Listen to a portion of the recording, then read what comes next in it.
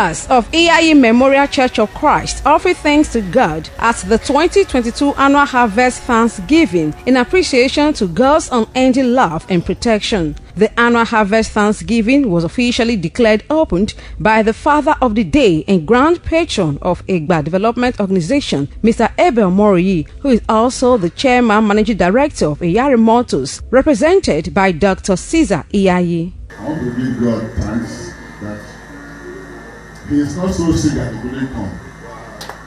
But He's here and He's now designating me to stand for Him and cut down this mountain in the name of the Father, the Son, and the Holy Ghost. This was followed by the Chairman Harvest Committee of Iyayi Memorial Church of Christ, Mr. Monday Osayande, who sang and danced in appreciation to God's faithfulness. Other members of the church took turns to offer thanksgiving to God with their substance, just as the presiding minister of Iyayi Memorial Church of Christ, Benin Branch, Reverend Frank Ezeli, offered prayers to God. Some members appreciated God for the successful event. I'm happy it's four years today. We are celebrating four years anniversary.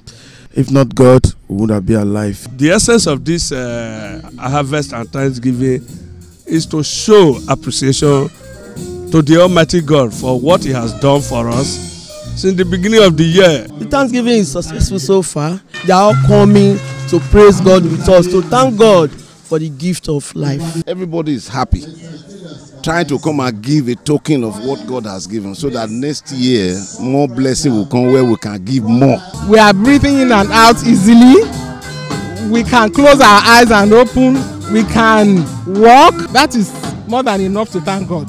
The theme for the 2022 Harvest Thanksgiving of Iyayi Memorial Church of Christ is Give Thanks in Everything. Roseline Ebhoramen reporting.